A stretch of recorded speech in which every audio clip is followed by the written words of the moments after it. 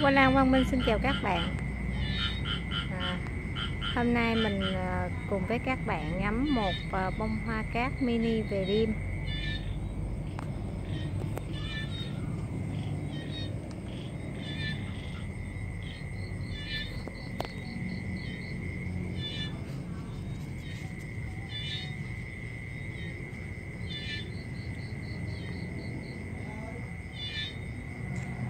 à, mình dự định ra đây là để ờ, chụp hình ban đêm.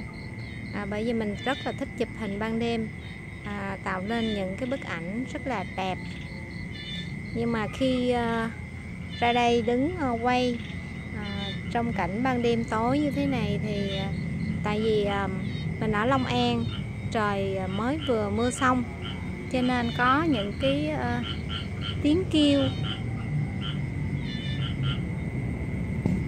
của những con ờ, vật mà ban đêm trời mới mưa xong đó nó mới phát ra những cái tiếng kêu này thì mình thấy à, nó hay hay.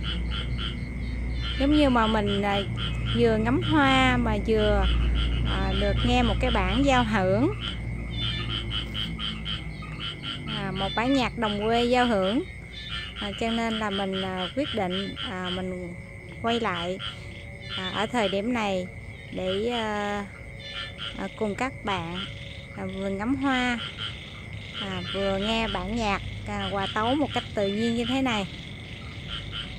À, và nhất là những à, bạn ở à, thành phố nơi đông dân cư à, thì chắc à, là ít được nghe những cái âm thanh này.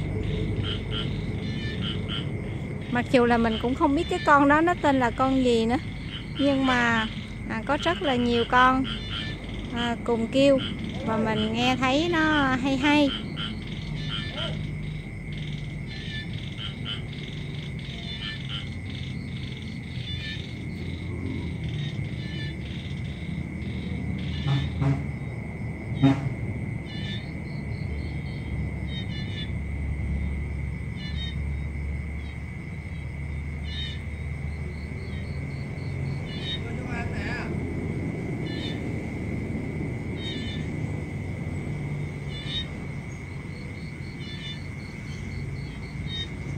Và không gian thật là yên tĩnh và mình à, lắng nghe những cái âm thanh đó rất là rõ ràng.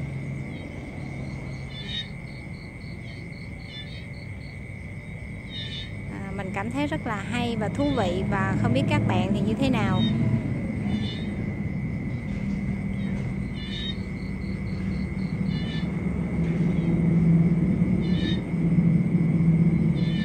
Quang Lan, Quang Minh xin cảm ơn các bạn đã cùng ngắm hoa với mình và cùng nghe một bản ờ, nhạc giao hưởng đồng quê.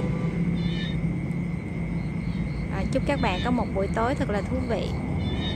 Xin cảm ơn các bạn.